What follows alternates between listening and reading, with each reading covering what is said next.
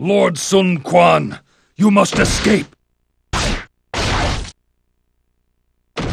Zhou Tai! Must clear a path